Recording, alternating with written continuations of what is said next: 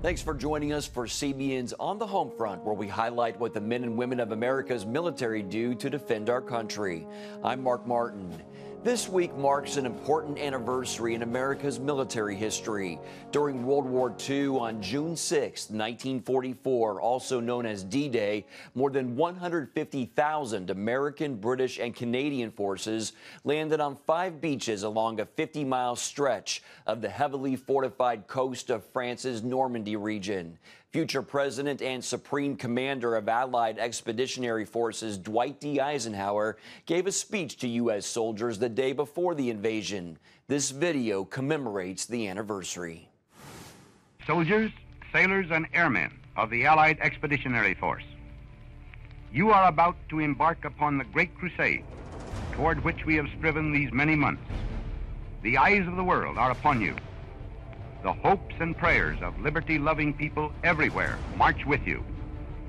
In company with our brave allies and brothers in arms on other fronts, you will bring about the destruction of the German war machine, the elimination of Nazi tyranny over the oppressed peoples of Europe, and security for ourselves in a free world.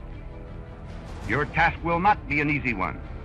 Your enemy is well trained, well equipped, and battle hardened. He will fight savagely. But this is the year 1944. Much has happened since the Nazi triumphs of 1940-41. The United Nations have inflicted upon the Germans great defeat in open battle, man to man. Our air offensive has seriously reduced their strength in the air and their capacity to wage war on the ground. Our home fronts have given us an overwhelming superiority in weapons and munitions of war and placed at our disposal great reserves of trained fighting men. The tide has turned. The free men of the world are marching together to victory. I have full confidence in your courage, devotion to duty, and skill in battle. We will accept nothing less than full victory. Good luck, and let us all beseech the blessing of Almighty God upon this great and noble undertaking. D Day was a crucial day in World War II. The 315th and 437th Airlift Wings at Joint Base Charleston played a part in it all. They give us a look back at the historic day. Soldiers, sailors, and airmen of the Allied Expeditionary Force, you are about to embark upon the Great Crusade. The eyes of the world are upon you. Flash. London, Eisenhower's headquarters announces Allies land in France. Bulletin. Supreme Headquarters, Allied Expeditionary Force, June 6 AP. General Dwight D. Eisenhower's headquarters announced today that Allied troops began landing on the northern coast of France this morning, strongly supported. D-Day was actually called Operation Neptune. And so it, re required about 6,000 naval vessels, about 160,000 men. And the plan was to actually capture a 50 mile stretch of beach along the Normandy coast in, in northern France. It was called the 437th Troop Carrier Group. We had four flying squadrons. We were called troop carrier groups at the time because the primary purpose of these C-47s that we flew was to bring troops into combat. Our objective was to get paratroopers behind enemy lines. The 85th was taken and put on loan to the 436 Troop Carrier Group at another base in England. When they went over there, they became attached to another unit that was the first wave of the aerial assault of D-Day. Our brethren from the 315th, they were in that first wave as well. So that first wave took off and they had the 101st Airborne Division and they were going to have paratroopers jump out the side of their airplane.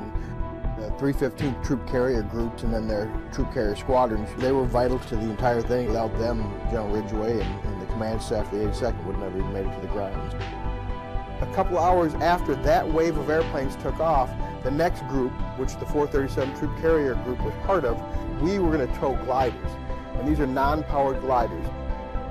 The concept is that we would fly in, release the gliders. The gliders had predetermined landing zones. They would land these airplanes, these gliders, uh, and everybody would just climb right out or drive the Jeeps out the back.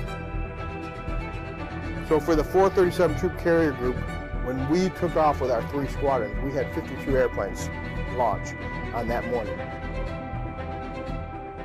Footage from the invasions of Normandy are some of the most captivating visuals from the war. And that's because General Eisenhower wanted to document it all for newsreels and military archives. So he created a combat motion picture coverage unit.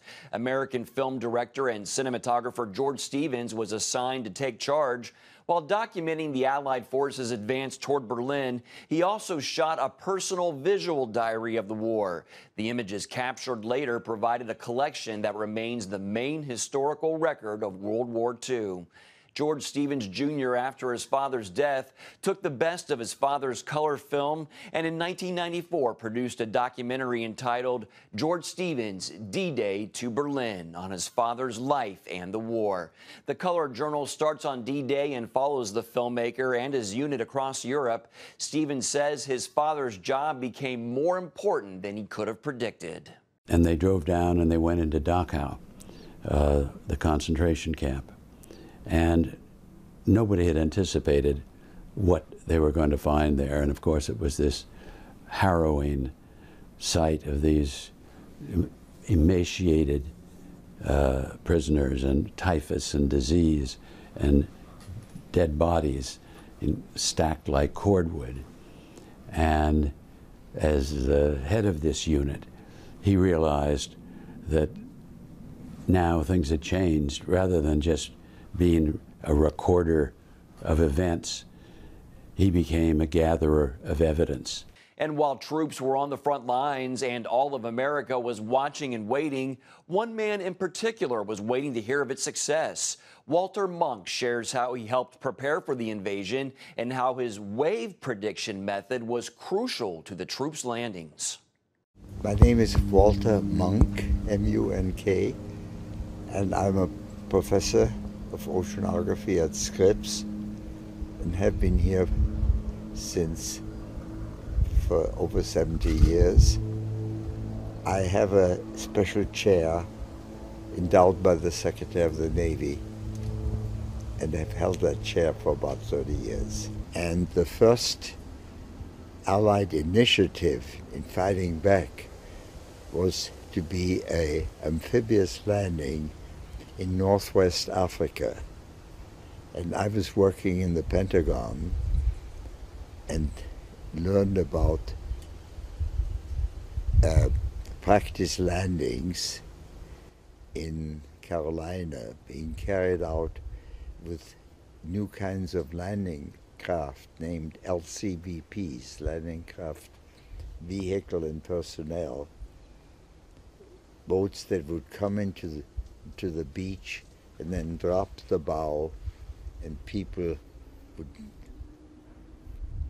uh, run out of the bow onto the beach and establish a beachhead and learned that and found that uh, that when the waves exceeded five feet height that the landing craft would broach turn parallel to the beach, waves would break into the landing craft. People get hurt, and exercise would be secured, waiting for a day with calmer conditions. And I went back to find out about typical wave heights in Northwest Africa in winter and found they exceeded six feet. And I wondered what would happen if, under those conditions, and I asked my commanding officer about that, and he, he told me to just forget about it because he was sure that the authorities had considered that and I should do what I was told. I was 25 and had no reputation and no background, very junior. But I didn't I couldn't quite forget about it, so I telephoned Harald Sverdrup, whom I had met for two summers, who'd become my teacher, and begged him to come out. And he very kindly took the next flight, and we sat together for about a month in the Pentagon to try and figure out how we could predict waves so one could pick a relatively calm day for the exercise. It seemed like the only possible solution.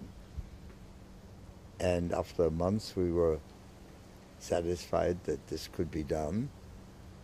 And Harald Sverdrup had a major reputation in the world. They listened to him. And uh, we were permitted to participate in the planning and and to pick and to predict the waves at the landing beaches and to pick a relatively calm two days and the landings took place under relatively good conditions. After the break, we'll hear another incredible story of one veteran's journey during World War II. Welcome back to On the Home Front. Dale Jones enlisted in the U.S. Army in September 1940, a full year before American involvement in World War II. He served across two continents during the war as a member of the 1st Armored Division. He shares his incredible story of service and sacrifice. We come into the mouth of the Mediterranean, about five or ten miles out away from land, there's a big explosion. You've never seen so many GIs in the water that all your life. And we went as fast as we could, and we picked up as many as we could. We headed, we headed for Oran, Algiers, in the Mediterranean we got rid of all the Germans, I guess, and we headed back over through Algiers, over the mountain, and we come down, and it was in Tunisia. When units of the 1st Armored came ashore at Oran in northern Tunisia, November 8, 1942, to challenge the Nazis' hold on North Africa.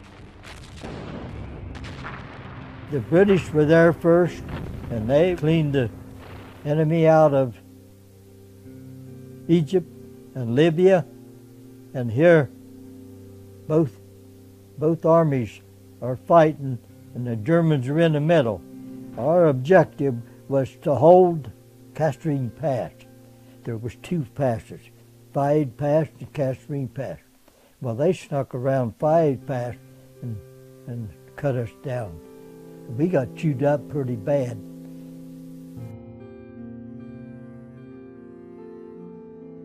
We landed on Anzio Beach.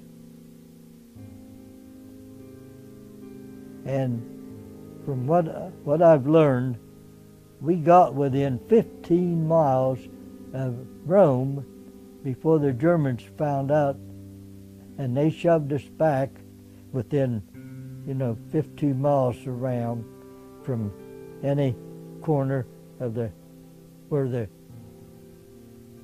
the Anzio Beach was. Every major battle, we defeated, we defeated the Germans, and on up the boot, one of the majors hollered at me. He said, Jones, he said, we want you to get in that plane. You're going back to Naples. You're going home. He was in the Marines and he's the one that never come back. He got killed on Okinawa because they were shooting at the this way and they come back they come back around on the side of and they had to reverse they had to turn themselves and yeah what I understand is that the major, the major said that your brother was shot twice in the neck, you know, two shells. Said he never knew what hit him, and that's that makes me feel good.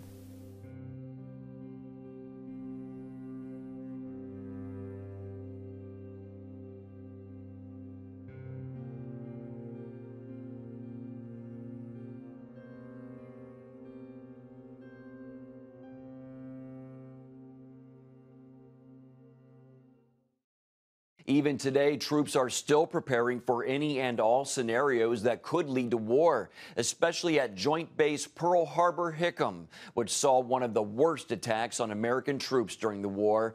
The Center for Security Forces trains sailors with academic curriculum in the classroom and practical hands on training in the field.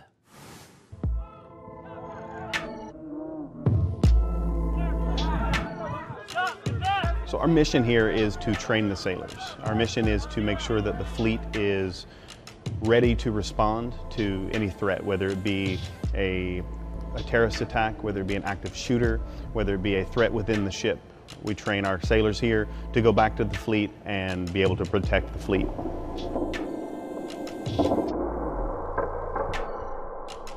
You serve with these people every day and you would never want to see someone that you work with get hurt or you know, even worse, lose their life. So it's just very important to me to like actually be able to protect them. I feel like if I went to the ship now and something were to happen, um, I wouldn't even hesitate to respond. Just with the knowledge that I have now after doing this course, um, definitely a lot more confident in my tactical skills and just being able to assess problems. I just came from a ship. I was there for four years. The most rewarding part for me was seeing sailors that came through this training, whether it be here in Pearl Harbor or any of our other learning sites, coming back to the ship with the wealth of knowledge that we can provide them and being able to help out the ship and help out the training teams and make us all better. Don't go anywhere. We'll be back right after the break. Welcome back. For some World War II veterans, their journey did not end when the war did. A 96 year old veteran airman has formed a special friendship with an Air Force Reserve First Sergeant centered around a 70 year old biplane. These two airmen share their stories about how this aircraft shaped their merging destinies.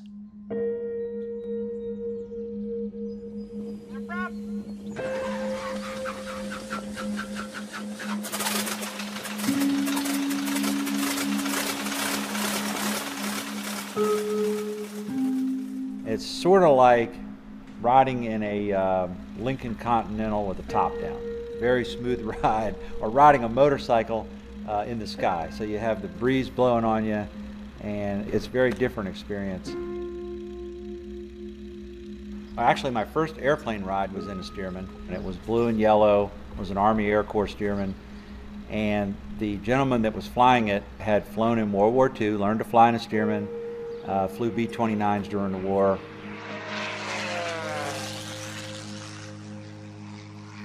Well, as a child, I drove up and down the road with my parents, and I was in the back seat of the car, and I would see the billboards on the road, and I kept pointing that out to my parents. Look, they have dog fights there. And it wasn't until I went out there with the Boy Scouts uh, when I was 14, it was my first exposure to seeing the show. And uh, I feel very lucky that I lived within 15 miles of a very unique place like the Flying Circus where I could actually go there. Uh,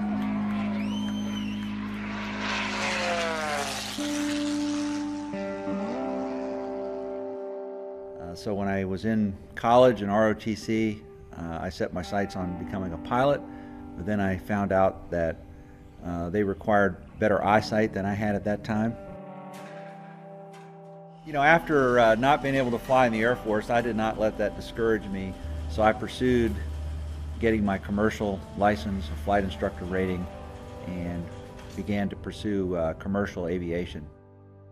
And I got a loan, uh, bought the airplane, and immediately started using it in air shows uh, and flying passenger rides, uh, you know, for hire in the airplane. Hey, how you doing, sir? Can I have a hug?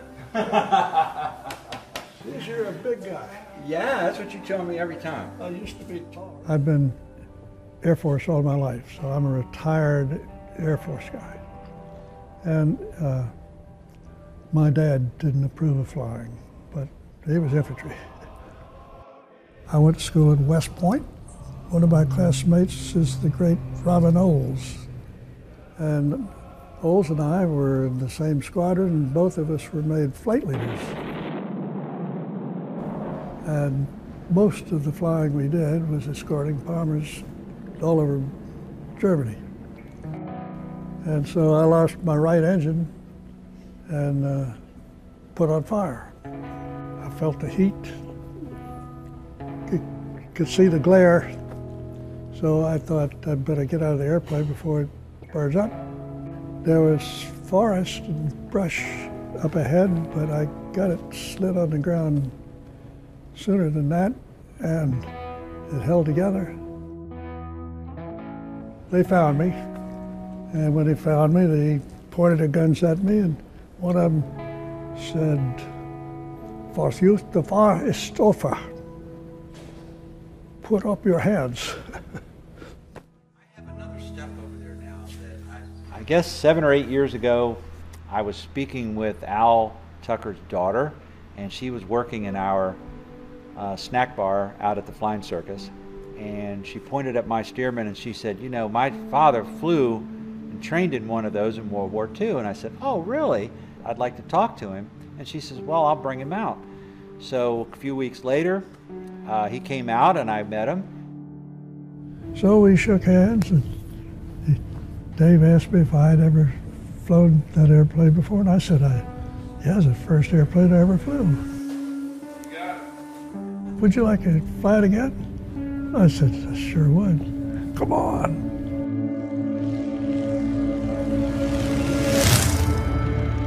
He discovered I could fly it. Dave and I have been flying together ever since. I've flown several World War II pilots in, in the aircraft that had learned to fly in it. And that's always a joy for those of us that are maintaining these airplanes. And I really see it as I'm just a caretaker of it, and I'll pass it on to some other other pilot, and uh, he can continue to, to maintain it and share it with everyone. Flying was his life in, in the military. He, he's told me stories about all the different aircraft he's flown, and and there's never any regrets. But I don't think uh, as a pilot we really ever retire from the feeling and the uh, the love that we have for aviation. It's just uh, it's in his blood, I think, just like all of us.